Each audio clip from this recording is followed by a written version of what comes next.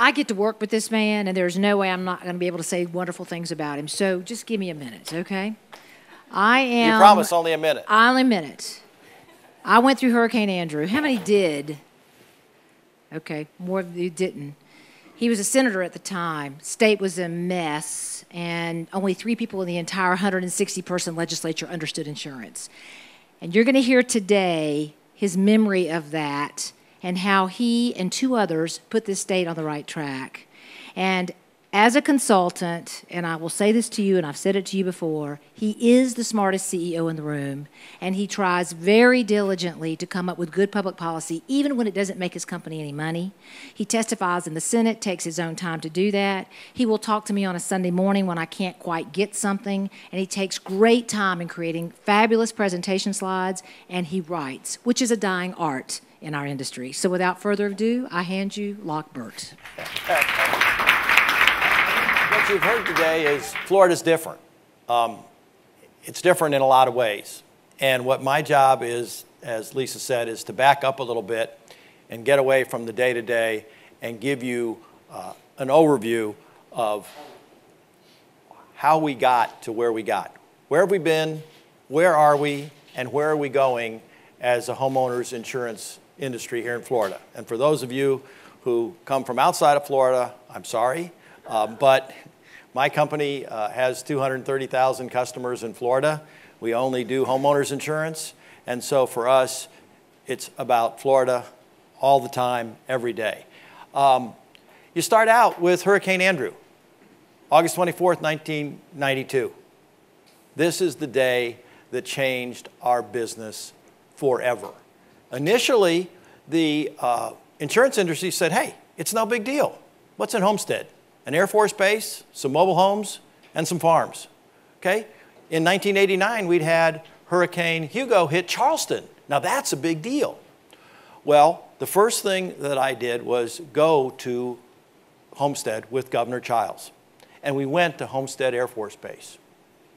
And I'll tell you the two things that I remember. We were being uh, taken around the Air Force Base by a colonel and I looked up at the uh, control tower. And 30 feet off the ground, there was a big hole that went all the way through the control tower. And I said, Colonel, what made the hole? And he looked at me, stone cold, serious, and said, A Volkswagen. And you go, wow, that's really something. And then he took us to the end of the runway, they had left uh, five servicemen on the base. They'd evacuated all the planes, but they had five men who stayed there during the storm. And they were in a building built to military construction standards to withstand sustained winds of 165 miles an hour. And that building came down around their ears.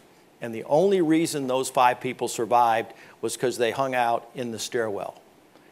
You can't imagine the uh, destruction. 165 mile an hour sustained winds, 190 miles an hour or more gusts, 43 deaths, 100,000 homes damaged, hundreds of thousands of people forced to evacuate or, or to move, um, 35 million tons of debris, okay? $10 billion of uh, losses reported by the homeowners insurance companies in Florida. Uh, construction fraud. There was over 6,000 claims and, uh, of construction fraud, and over 1,000 people were convicted of committing construction fraud. And 11 insurance companies went solvent. It was a really, really big deal. And who was writing the business? Well, some names you recognize, State Farm, Allstate. Uh, the big guys had 80% of the market. Domestic insurance companies like mine only had 4% of the market. And there's some names on there that might surprise you. Geico. Who knew that Geico wrote homeowners insurance in Florida? They got out of the homeowners business in 1996, as did some of those other folks. Um, and they are still leaving Florida if you look at the top 10 writers of homeowners insurance in the United States, 60% of it is written by the top 10 companies, the household names. Their market share has gone uh, down to where it is only 15%. So that's the difference between everywhere else and Florida. 60% of the market in the states outside of Florida, 15% in Florida, and those folks are never coming back. Um, you look at the, what's happened in Florida with the growth. We had uh, 870 billion in TIV in 1993 and over 3 trillion today. Uh, the big problem that we have is if we, if we had a hurricane hit Miami, a big one, two and a half million residential claims. Y'all ready for that? Two and a half million? Oh, and that doesn't include the auto and flood. How many of your companies are ready for that? Good luck. Um, the residual market basically didn't exist. We had one entity called FUA, Florida Windstorm Underwriting Association, based right here in Jacksonville, and it was originally formed to write windstorm insurance in the Keys. And it for, expanded a little while, and it only was, has within 20, was in 23 counties uh, right before Hurricane Andrew. And guess what? It didn't write any business in Dade, Broward, or Palm Beach County. What happened was FUA, and then we created the, what's called the FRPCJUA, and that merged into what's now known as Citizens. And what I'm going to do in this presentation is talk about all of this together as a lump as the residual market. And look what happened. 61,000 policies in the residual market in FUA before Hurricane Andrew ballooned to 1.4 million policies in 96, went down to 500,000 in 2001. Then we had the storms of 2004 and the insolvency of the Poe companies, and we peaked out at a million 418,000 policies in the uh, residual market. Now we're on a downward track, 566,000. In terms of TIV, uh, we had a, a, little bit different change. Uh, the, the TIV didn't go down quite as fast because um, the people taking business out of the residual market weren't stupid. Um, they took out the smaller value policies and the ones that were less exposed to risk. But we're down to 202 billion of uh, TIV in the residual market, which is really uh, less than 10% of the uh, TIV in the state. Um, what was our legislative response? Well, as Lisa said, there were really only two people in the Senate who could spell insurance. Uh, Senator Pat Thomas was a local agent in Quincy, Florida, great guy, former head of the um, Democratic Party. And I was uh, in the reinsurance business. I started in the reinsurance business uh, before most of you were born in 1974 and um, had been in the insurance and reinsurance business. And I'm still in it 41 years later. Um, too stupid to do anything else, I guess. Uh, on the House side, Representative John Cosgrove took the lead. He lived uh, in the southern part of Miami near Homestead, and he lived through the uh, hurricane, and that made a huge impression on him. Uh, he had to ride out the hurricane in his bathtub. Uh, so, what do we do? and, and as we go through this presentation, I want you to think about the overriding questions, the ones we had to think about. Should the government be involved in the homeowner's insurance business? That's the first question. The second question is if they are involved, how should they be involved? What's the size and scope of that involvement? And then the third question was who should pay the bill? Should it be the folks on the beach in Miami or all of us? Because we're all in this together. Or what, how do you balance that? And the last question is when do you pay? And by that I mean in the insurance business, you pay in advance and then the insurance company reimburses you for your claim. We haven't done it that way. A lot of our claims paying capacity is going to be funded after the loss. So those are the questions that we were dealing with and we've been dealing with for the last 27 years. Um, the first thing that happened after Hurricane Andrew is Tom Gallagher did some things that were probably unconstitutional, but nobody called him on it. He, he immediately said, you can't uh, cancel any policies, you can't make any rate filings. He froze the market. Uh, and then he started looking at the uh, financial impact of Hurricane Andrew on the companies. Okay, he and I went to New York City, uh, and it was really kind of uh, fun uh, because when you fly up in the state plane and you get off with the insurance commissioner and you walk into a meeting of a whole bunch of reinsurance executives, all the presidents of the company, and uh, a number of them didn't know that I was elected to the Senate because it only happened a year before. And one of them said, Locke, what are you doing here? Do you work for Commissioner Gallagher? And Gallagher turned around and said, Well, no, actually, uh, he, I kind of work for him. And everybody went, Whoa, okay. And then all those people wanted to talk about was the impact of Hurricane Andrew on commercial insurers. And I said, Gentlemen, time out. You need to understand something that's very important. Commissioner Gallagher is elected by the people of Florida. They vote for him every couple of years. I'm elected by the 400,000 people in my district. So let's talk about what's going to happen to our constituents. After we sort that out, then we can talk about your problem. And one of the mistakes that people make in Tallahassee in talking about their problems is legislatures often don't care about your problems. What they care about is their constituents' problem. And how does your problem impact their constituent, either for good or for ill? Um, what we had to do, we went into special session in December, and the first thing we had to do was pay the claims. We had to borrow $500 million, which had never been done before to pay uh, the thousands of people who were pounding uh, on the insurance department's door saying, I need money uh, to pay for the insolvent companies that couldn't pay it. Um, and we had to increase FIGA's assessment from 2% to 4%. We had to create a market called the FRPCJUA because companies weren't writing more business. They were trying to get out of here. Um, we had to uh, do some things. We made price gouging illegal. And, you know, typical um, people crawling around uh, the, the uh, destruction in Hurricane uh, Andrew were uh, robbing stuff, but the technical definition of burglary didn't apply because it wasn't a complete structure. So we had to change the definition of burglary and theft uh, to make it a crime. We then uh, did a couple of things in the years following that, 93 to 95 we created the Florida Hurricane Catastrophe Fund. So the government of Florida went in to the reinsurance business because reinsurers didn't want to provide us with the capacity that we need. And uh, one of the things that was being developed at the time was hurricane catastrophe models. We didn't trust those guys. We said this is a scheme by the insurance industry to raise prices. So we created a commission to look at the computer models and evaluate them to make sure that they were on the up and up.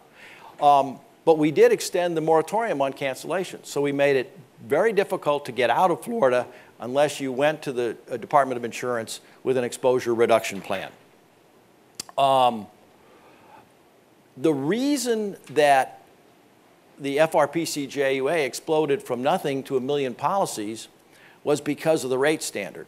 And one of the things that you learn when you're in the legislature is you can take a lot of care to write something, but the way it's implemented has absolutely nothing to do with what you intended. And uh, I wrote a lot of the law that created the FRPC-JUA, and we said it's supposed to be a market of last resort. It's supposed to be a market where people in good faith who can't find coverage can find coverage. And we said we want FRPC-JUA to be the highest in the land but we had a, a standard which was subjective. We just said it has to be actuarially sound and it has to include an adequate cat load. Well, the actuaries, of course, said nobody files loss costs. We don't know what an actuarially sound uh, cat load is. So they came up, they were the lowest rates in the land. So people went there to buy insurance, no problem. So we had to change the law to, to what we call a top 20, where the FRPC JUA had to charge more than the 20 highest, uh, biggest writers in their area. It was an objective standard. And we required policyholders to accept a takeout offer no matter what the price. So that was what started the downward slope of the FRPC JUA. Um, but when we allowed the FRPC JUA to pay bonuses, there was a problem. If you were a new company, the, the mortgage uh, industry inserted this language into the bill. The bonus doesn't count unless you replace it with a policy that meets the requirements of the secondary mortgage market. That was a very clever way of saying your company had to be rated by AM Best. And AM Best wanted nothing to do with Florida startup companies. So fortunately, a company called Demotech came in, a guy named Joe Petrelli. And he said, I'll help you guys out. Um, he had been approved by HUD in 1989, so a Demotech rating qualified for the secondary mortgage markets. Okay, without him, um, we would not have had a depopulation program, and a lot of the Florida companies would not exist. Uh, there were 17 new companies created in Florida from 1995 to 2000, and look at how little money you had to put on the table to get in the business. Seven million bucks. Um, and a lot of them didn't make it. Only seven are still alive. So 40% made it. 60% uh, didn't. Um, there was a bunch of different takeout programs that took out almost a million policies from the RPCJUA. But there were some other responses which were uh, just as, uh, as interesting from the market. Um, look at the change in the perils. Uh, additional living expense used to be unlimited. Uh, Schedule B coverage was reduced. Deductibles were increased, and guaranteed replacement cost went away. Since a lot of you are claim folks, you'll get a kick out of this story. Um, my senior vice president of claims at the time was an insured of one of the major carriers, and he came raging into my office. And he said, I thought you told me that you prohibited policy cancellations. And I said, absolutely. And he said, well, look at this cover. This is the coverage I had. This is the coverage I got now. It's not the same policy. And I said, well, under Florida law it is. But that was a significant change, uh, reduction in, in coverage. Um, some of the big carriers uh, changed the way they do business. Uh, the nationwide guys all became independent. Um, and other companies developed uh, alternative ways of selling uh, homeowners insurance. Allstate calls it expanded markets. Um, they, uh, USAA writes business through non-affiliated carriers through an MGA. So they, they figured out a way to, uh, to write business even though they weren't doing it. Another thing that happened, pup companies were created. Uh, eh, the big carriers tried to wall off their liability and so Travelers, Allstate, State Farm, and Nationwide created PUPs. Um, Hurricane Andrew created a new industry called computer modeling. There was a, a gentleman named uh, Don Friedman who worked at the Travelers. Nobody paid any attention to him, even Travelers. Uh, it wasn't until after Hurricane Andrew that people said, oh, we've got a problem. Because the only thing they kept track of prior to Hurricane Andrew was premium and market share. They didn't keep track of TIV or location. I mean, the old Sanborn maps had gone away. And uh, so all of a sudden, uh, that became uh, a big deal. It's a huge industry now. And in fact, the state of Florida created its own computer model. Because again, we didn't trust those guys. So we said, good, everybody has a computer model, we'll have one. So we spent a couple million bucks and Florida International gave us our own computer model that uh, is another way to keep the computer modelers uh, um, honest. Now, one thing, though, is, that is a, a, a misconception in the public and even a lot of insurance people is they think this is an exact science, computer modeling. Let me tell you, it's not. Um, this is our book of business, and you can see that if we believe EQE, our 100-year storm is 421 million. Uh, if we believe RMS, it's 774 million. Oh, that's only a difference of 84%. Okay? Um, And all of these models are approved by the Florida Hurricane Methodology Commission. But they have, in many cases, very, very different results. That's the same book of business, same data, same date. And you get those kind of results. But there's another way of looking at what could happen in Florida, and that's called a deterministic model. This is Karen Clark's latest model. And for those of you who don't understand uh, PML, look at that line. The line there is the, the PML in Florida, which is about 100 billion. Well, that's kind of the average depth of a lake. So you could be somebody who drowns in a lake that's three feet deep because you just happen to step in the hole that's 12 feet deep. And what PML means is, in the 100 year event, is there is a 1% chance that a storm will cause damage which is greater than that number. And what they don't tell you and what the press doesn't tell you is that many times it could be a lot greater. And what a deterministic model does is it takes a 100 year meteorological event and it marches it around the Florida coast. And you can see, worst case scenario, something coming in in Miami. Uh, you're looking on the order of 300 billion of insured losses. Um, by 2002, the market had really stabilized and the legislature had capped the liability of the cat fund at 11 billion. We'd frozen the boundaries of the wind pool, and we mandated a reduction in the PML. Um, but there were some things on the horizon which caused concern. Uh, sinkholes. Okay, in 2002, I was driving around Florida, running for Attorney General, and I would drive up I-75, and something really scared me. I would see a big billboard with a really nice looking man on it saying, Got a problem with a sinkhole? Call sinkholejustice.com. Another one, same thing, different guy. Got a problem? Call sinkholelaw.com. And I said, Oh, why would anybody want to do business north of Tampa when these guys are looking for sinkhole claims. And we never did.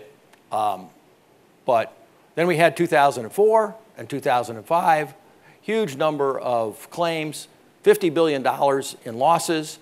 Um, we had multiple insolvencies. Uh, it took a while for some of these companies to go insolvent because it took a while for the claims to, be reported and be developed. Um, we made additional changes in coverage um, the big one was screen enclosures. Uh, the Poe insolvency, the Poe companies paid about 2.1 billion in claims.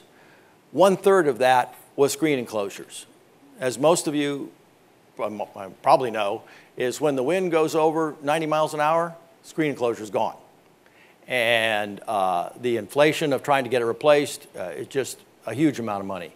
Um, so then, how do we rebuild the industry? Well, one of the things we felt was that the industry needed more capital. And uh, Senator J.D. Alexander, who was chairman of appropriations, uh, approached me and said, What do you think? I said, Well, uh, that's probably a good idea. Now, what JD wanted, he wanted big companies and he wanted a firm commitment to right business. And he wanted uh, he was going to appropriate $500 million. And I said, JD, that's, that, you don't need to do that much. That's a lot. So what we came up with was a $250 million program of matching money where investors had to match. A, minimum, a minimum investment by investors was 25 million. The state would match them with 25 million as a loan paid back over 20 years. The only problem we had was selling it to Governor Bush. And um, I knew that Governor Bush walked home every night from the governor's office to the Capitol. I mean, to the, from the governor's office to his house, the, the mansion. So one afternoon when he's walking home, I ambushed him. And I told him about this program. And uh, his initial reaction was it was either communism or socialism or something. He really wasn't excited about it. But we eventually changed his mind. It was passed, it was signed. And the 13 companies that applied are, in many cases, the ones that are here today writing a majority of the business in the state of Florida. Um, then we had another hurricane, Charlie, okay? Um, and he's a really nice guy. Uh, he, I know him real well. I served with him in the Senate. I ran against him as a, uh, for Attorney General, and the best thing that ever happened to me is he beat me like a drum. Uh, but, you know, um, he really isn't what I'd call a policy wonk. Uh, and uh, he, uh, he thought that the government role in the insurance business should be expanded a lot. And he thought that citizens should go from being a market of last resort to a market of first resort. And so uh, we expanded citizens. He froze the rates. Citizens' rates were frozen from 2005 to 2009. Um, the CAT fund, he increased the capacity by $19 billion. Okay? Um, and Senator Steve Geller wanted to sell that capacity to the domestic industry for free. okay? For free. Um, and this is what happened. We went from 15 billion in liability. This is just in the cat fund to 35 billion. Uh, we couldn't pay that bill. And, and I went to London about this time and, and met with a senior executive of one of the big syndicates at Lloyd's. And he said, Son, your cat fund has a problem. I said, What's that? He said, It's broke. And I said, Well, let me tell you something. When you have the ability to tax 20 million people, you're never broke. Now, you might be short of cash, but you're never broke. Um, fortunately, uh, that bill didn't get, get called in. Um, we got a new governor, Governor Scott. Uh, I met with him, John Auer and I met with him right after he took office. And uh, you know, when you meet with a governor, you've only got a certain amount of time and you script out what you're supposed to say and who's going to do. Well, the governor blew that right up. He walked in, he looked at me, and he said, Senator, why didn't you solve this problem when you were here? And I said, Well, actually, Governor, I did. We increased citizens' rates. We um, made people have to accept a takeout offer from a private company, and we paid private companies to uh, take policies out of citizens. And the, the policy count went from 900,000 down to 100,000. I said, it's really pretty simple. Um, he goes, hmm, okay. Uh, well, we did do some things. We restricted citizens' coverage. We created a clearinghouse. And this was important because prior to this time, once you were in citizens, you had permanent eligibility. You could turn down an offer of coverage which was even less than the citizen's price. Um, so we changed that. We, we tried to get after the sinkhole uh, problem, and we said, look, if you've got a house over a million dollars, you don't need our help. Um, you can go into the private market. Um, and look at what happened, okay? We, we started to reduce citizens' model loss from 25 billion down to, down to 17 billion. So we were going in the right way. Um, and this is what's called the total assessable shortfall. It, it's a report that's written uh, every year and what it tries to do is quantify how much the citizens of Florida would be on the hook for in the event of a 100 year storm. And the peak was, was 36 billion. And let me tell you why this is important because people don't know how much they're on the hook for. Uh, one of my constituents called me up. He had gotten a bill uh, from one of the, the hurricanes in, uh, well, actually, it was, it was in 97. Um, and the conversation started out who is the communist that voted for this tax? And it went downhill from there. And it turned out that his assessment was less than 10 bucks. And I said, I'm thinking, this guy doesn't know what we've done with him. But we're going in the right direction. Uh, the assessable shortfall is down to 3 billion, and actually I think it's going to go away because the CAT fund bought a billion dollars worth of reinsurance, and uh, uh, Citizens has bought an extra billion. So it's probably going into this hurricane zero, which is good news for the taxpayers. Um, what are we looking like today? These are slides that are put together by uh, Dowling and Company, and they show uh, the market. And what you can see is the total premium dollars uh, peaked at 10.2 billion in 2007, and they uh, went back up. Uh, you know, they went way down because of wind mitigation credits and uh, the CAT fund. And then they creep back up to 10.1. And actually, in 2014, the total market went down. Um, and they break down the market, they call the ANTs. That's Allstate, Nationwide, Travelers, and State Farm. The specialists, that's people like me. The national companies, USAA and AIG and Liberty Mutual, and then citizens. And uh, this in, is in terms of percentage. And you can see that the domestic market, the specialists, now have 60% of the market in Florida. So the difference between prior to Hurricane Andrew, we had 4%, now we have 60%. It's a huge change. Um, look at the average premium. You see this a lot in the paper in Florida, uh, you, how it's gone up. Um, but again, December 14, it actually went down, 2,119. Um, even more incredible is look at the rate. Okay, who would believe that the people in Florida are paying less rate, significantly less, than they were in March of 07?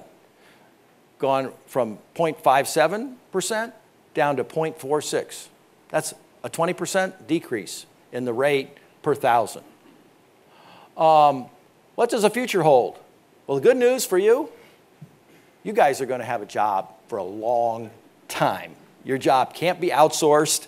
Uh, it can't be sent to India or somewhere else. 50% um, of our claims uh, are water, water related. And I just got the numbers from Citizens for 2014. 59% of Citizens' claims in the PLA account are water. Okay, so water's a big deal. Um, but um, technology is going to be at work in your industry. Uh, this is a new water heater that's um, first digital water heater. It doesn't have a, a heating element in it. It's going to be available in 400 Lowe's stores around the country before the end of the year. Um, so you are going to see some technology changes in the, in the water business. Um, we do know that a, a hurricane is going to hit Florida again. We don't know when. We've been real lucky for the last nine years. Um, the good news is we're really better prepared because of Hurricane Andrew. We have done some stuff that no other state has done. Our nursing homes and hospitals are required to have contingency plans where they can take each of their patients and put them into two separate locations. We have bridges that we, one person can now close down the bridges to help people evacuate. Same thing with toll roads. We can eliminate the tolls, get all the toll roads going one way. Um, generators are required uh, at a lot of uh, emergency operation centers and at gas stations. So we've done, we've, Hurricane Andrew and the ones that followed put us in as good a shape as we can be to meet the next hurricane. Now, what's the difference? Another story. Okay. Hurricane Katrina is getting ready to strike. Jeb Bush calls Haley Barbour, the governor of Mississippi, and Mrs. Uh, LeBlanco, the head, the head of uh, Louisiana, and talks to him about what you ought to do, things you ought to get ready, blah, blah, blah. He comes into the lieutenant governor's office and says, Those people don't have a clue as to what is going to hit them and we know they didn't, and we know it was a mess. Um, our state, uh, fortunately, is in a lot better shape. Um, one of the questions that I think all of you should ask is Are your employees prepared for a hurricane? Um, I happened to be in Santiago, Cuba, when Hurricane Sandy hit. And that's when it was a real hurricane, not a superstorm. I was there with uh, my wife. She's director of museum, and we, we were there. We thought it was only going to be a tropical storm, but it, it picked up a lot of steam between Jamaica and Cuba. Um, that hotel where we were staying was built in 1991, a Spanish hotel, probably the strongest building in uh, Santiago, Cuba. Windows blown out. You can see that that was the, the lobby. The place was destroyed. But what really impressed me was the employees hung in there, okay? They, they didn't have a kitchen, but they, they managed to get us in the morning, get us some sandwiches and some coffee. And uh, the maid who took care of our room showed up in her starch uniform with her shop vac because we had about an inch of water in our room. And we, in our little broken Spanish, we said, well, how did you, how did you make it? Because there was like 25 people killed in Santiago and 20,000 homes destroyed. And she said, Well, um, I have three kids. The roof blew off our house, but, but the kids are being taken care of by my mom. Uh, and, you know, I'm here to do my job. That really impressed me as a, as a service business. So, what we've done at Security First is every single one of our employees, every year, has to sit down with our manager of CAT response and our human resources people and update a personal disaster recovery plan. Because we have made it very clear to our employees that that's when our customers are going to need you when there's a hurricane. And we expect you to be at work. Now, if you have a problem, okay, you have kids that need to be taken care of, sent to your mom in North Carolina or whatever. Let's talk through the problems because we don't want you worried about your family. We want your family taken care of, and we'll help you do that. But when disaster strikes, we want to be there uh, for our customers, and having you there is the only way that we're going to do it. We've talked to some of the other speakers have talked a little bit about mobile. Um, I don't think uh, many people in the insurance industry really fully appreciate the revolution that's coming. People expect the Amazonian experience. Look at the last bullet. Three out of four Americans expect help within three hours of posting a request on social media. Raise your hand if your company could do that. Ask the question what would happen at your company if tomorrow you got a thousand emails with four pictures attached describing the damage? What would happen if you got a post on Facebook because, um, or you got a text because the cell phone tower was down and all they could do was text you? What would you do? What would your company do? Well, there is an answer to that question. We worked with a company in uh, uh, England to develop a social media response that takes all of that stuff and sends a response, gets into our, our system, and, and gets the workflow flowing. And we did that in 2009, 2010. We got an IBM Smarter Commerce Award for doing it. And let me give you an example of what it does. Uh, Walt Zender here is head of our claim department. Um, midnight Saturday night, we had a very unhappy customer who posted a very nasty post on Facebook. As soon as that happened, because what, what happens, we have IBM Content Analytics and Watson reading all that stuff 24 7. As soon as that happened, we knew we had a problem, and an email went to Walt so that when he got up Sunday morning, boom, he could read an email. He contacted the customer, he solved the problem, and by 5 o'clock Sunday afternoon, the post had been changed on Facebook from an unhappy customer to a happy customer. That's where the world is going, and um, I think the technology change is going to be picking up rather than slowing down. Um, you've talked a little bit about big data.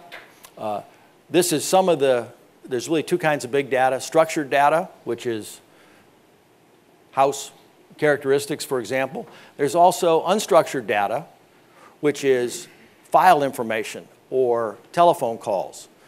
And computers now can read that, can uh, analyze it by content and by tone, and can put it into your workflow and tell you which, which you ought to work on first and can spot trends, whether it's fraud or other things, that you really can't do with people because you can't have enough people to read absolutely everything 24 7. Um, what about drones? We've stayed away from drones. And uh, here's why. I think that the average person believes that when they are in their backyard, they have a right to privacy. Now, legally, that's not true. Airplane can fly over, um, look down in your house, look at what you're doing in your backyard. You don't have a, a right to privacy, but people believe that they do. And I think that if insurance companies use drones uh, to do routine underwriting, uh, that kind of thing, there's going to be a pushback from the public. We, we had a bill pass the legislature this year which made it clear that it was a crime for a drone to fly over uh, a house and take pictures. Uh, un unless, and I haven't studied the language, un unless it was from an entity who was licensed to do what they were doing, whatever, whatever that means. Uh, yeah, okay, the, the, realtors.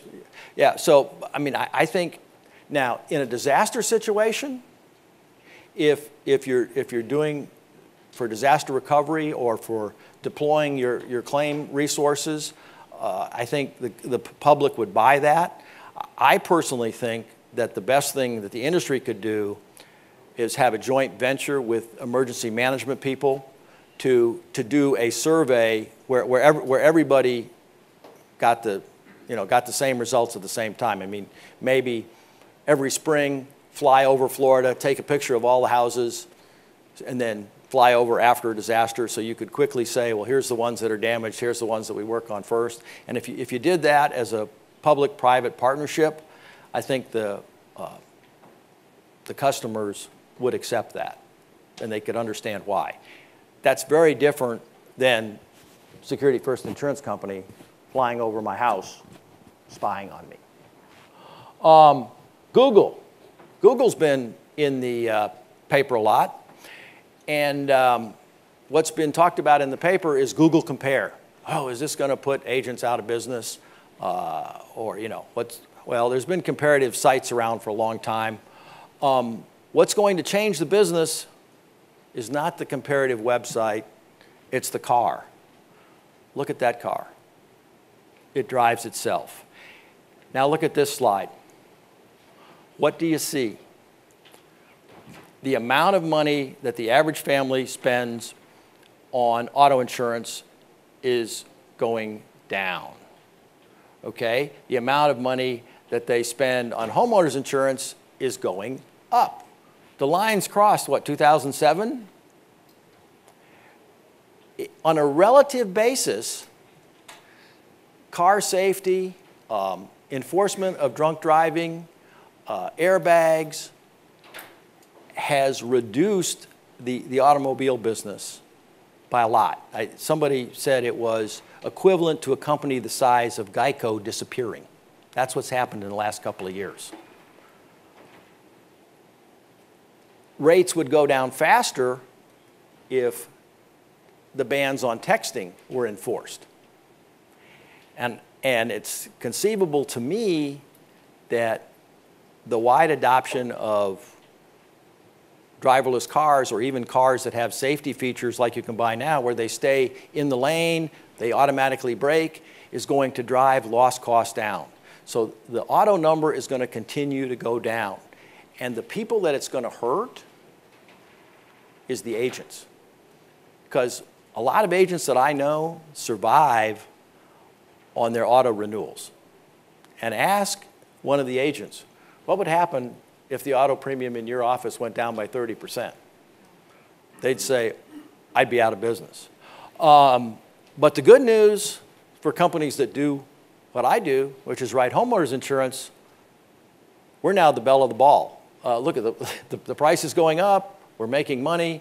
Uh, so all of a sudden, everybody wants to talk to us.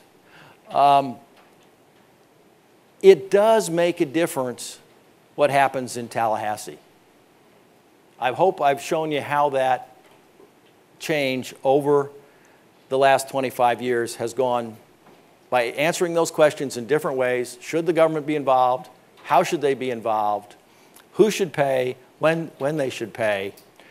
That's gone back and forth. And it's going to continue to go, go back and forth. Um,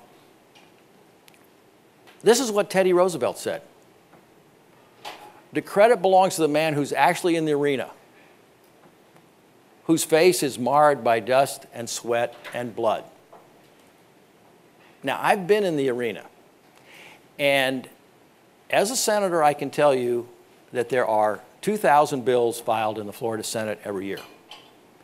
Every one of those bills is important to somebody. And you can be the hardest working individual and the fastest reader and the smartest person in the room, and there's no way that you can read 2,000 bills.